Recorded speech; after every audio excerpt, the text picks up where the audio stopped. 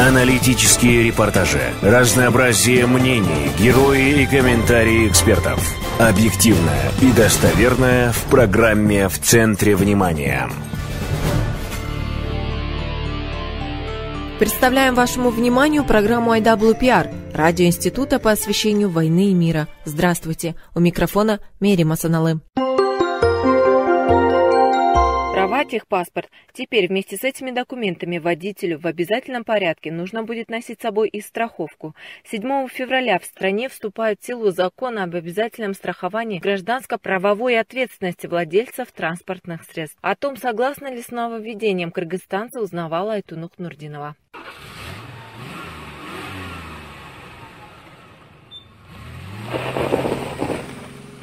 Чтобы застраховать автотранспорт, э, э, там список в правилах имеется. Ну, во-первых, заявление должен написать, предоставить техпаспорт автотранспорта, предоставить э, паспорт, водительские права показать, да, ну, чтобы определить стаж вождения его. И все, в принципе. Больше никаких документов и не понадобится. На ОСАГО, на обязательный вид страхования, это будет влиять. Говорит заместитель генерального директора страховой компании АТН «Полис» Эрнис Абдекеев. Установлен срок. До середины апреля кыргызстанцы в обязательном порядке должны застраховать свое авто. Контроль на наличие страховки возложен на дорожно-патрульную службу. В случае отсутствия предусматривается административное наказание. В случае отсутствия такого документа наш сотрудник будет принимать меры в административном законодательстве. Есть статья 244, где налагается штраф 500 сомов, то есть отсутствие документов, не имеющих при себе соответствующих документов. Машину ставим на штрафную стоянку. Э, после оплаты штрафа выдаем машину со стоянки. Отмечает старший инспектор управления ДПС МВД Нурсат Абалдеев. Размер страховой премии сегодня еще обсуждается и примерно будет составлять более 2000 сомов в год. Как отмечается, сумма страхового взноса за авто будет зависеть от характеристик автомобиля, от водительского стажа владельца. Чем выше стаж вождения, тем дешевле страховой полис. Минимальные тарифы, они сейчас э, на согласовании, они должны правительстве сейчас, если выйдут, то в среднем, ну, учитывая наши автотранспортные средства, э, что у нас миллион автотранспортных средств, в основном они куплены на вторичном рынке, срок у них а, свыше 10 лет, и где-то мы в среднем считаем это от 2, 2200 э, и до 2500. Ну, безусловно, большие машины, большегрузные джипы, у них а, тарифы намного выше будут. Не намного, но выше будут. Там есть а, коэффициенты, а, по которым исчисляются страховые тарифы. Это в зависимости от объема двигателя, в зависимости от стажа водителя, от машины зависит. Есть определенные условия к транспортному средству. И э, вот это все э, выливается в определенный коэффициент, в соответствии с чем исчисляется страховой, э, страховая сумма, страховой полис, сумма страхового полиса. Основные эти вопросы, это связано с тем, что, может, сезонностью вождения, да, некоторые э, предпочитают не ездить зимой. А, у нас где-то от э, э, месяца а, и выше есть определенные Э, временные рамки, в соответствии с чем могут приобрести страховой полис. Э, э, заезжающие сюда, допустим, из других стран, могут тоже оформить э, страховой полис на определенное время. Рассказал председатель Государственной службы регулирования и надзора за финансовым рынком Санджар Муканбетов. Страховые компании, с которыми можно заключить договор, на сегодня пока не определены, а всего в стране 17 страховых организаций. Лицензии двух сегодня приостановлены, 13 работают в полную силу. Как предполагается, около 10 из них будут заниматься гражданским страхованием. Он 12 жыл 15 жылдан бери иштеген камсыздандыруу компаниялар. Эти компании которые на рынке уже более 10-15 лет имеют определенную историю. Именно они будут заниматься обязательным страхованием автомобилей. Мы сейчас повышаем минимальный уставной капитал вдвое. С 50 миллионов до 100 миллионов. У государственной страховой компании есть все ресурсы. К середине этого года уровень капитализации повысим до 150 миллионов сомов. В течение года будет еще наращиваться до 400 миллионов сомов. Это основные наши требования. Пошел безден требования.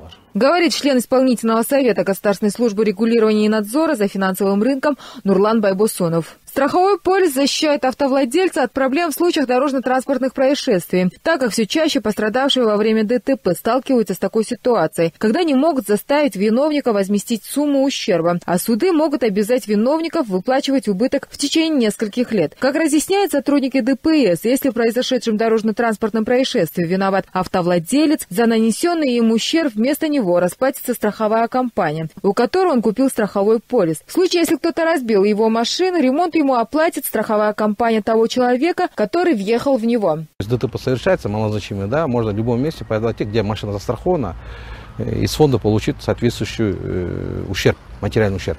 То есть по калькуляции она выясняется, сколько там ущерба нанесено, вот эту сумму можно получить страховой компании. То есть там фонд создается, из фонда можно получить.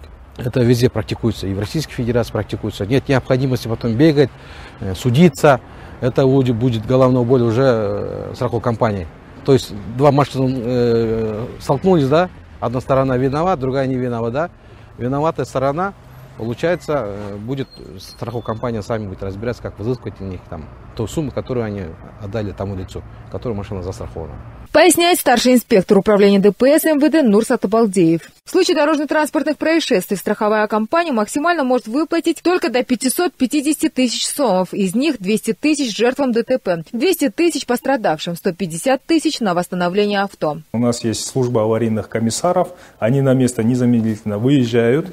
А, вместо гаишников, например, если никаких телесных повреждений нет или никаких спорных моментов нет, да, или нет никаких летальных исходов в результате ДТП, наши аварийные комиссары выезжают на место и решают э, вместо гаишников, вместо ДПС, МВДКР, э, все вот эти моменты.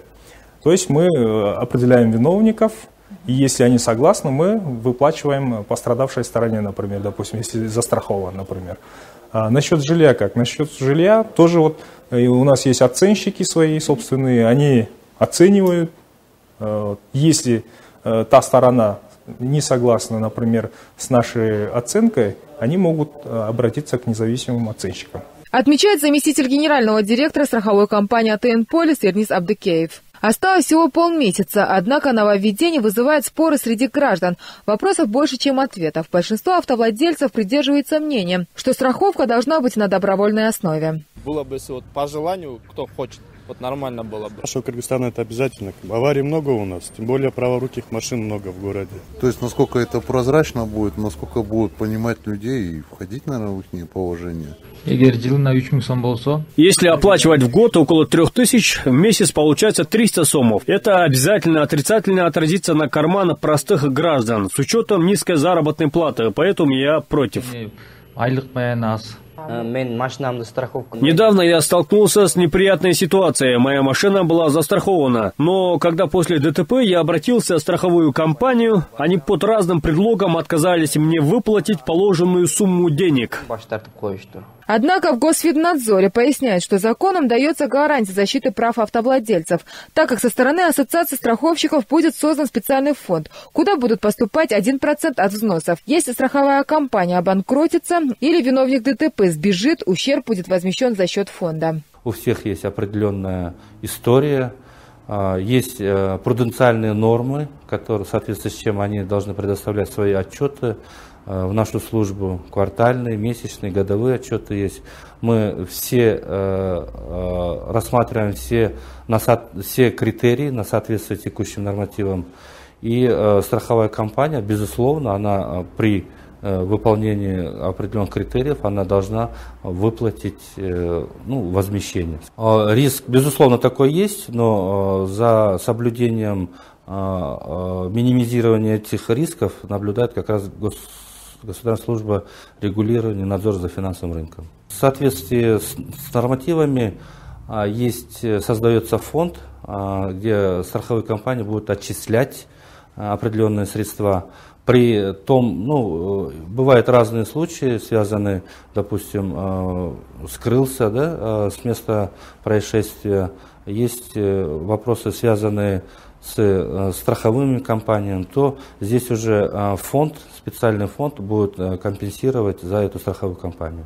Разъясняет председатель Государственной службы регулирования и надзора за финансовым рынком Санджар Муканбетов. Готовность самих структур к обязательному страхованию автогражданской ответственности вызывает сомнения и у депутата Мирлана Бакирова. Он отмечает, что закон недоработанный и имеются пробелы.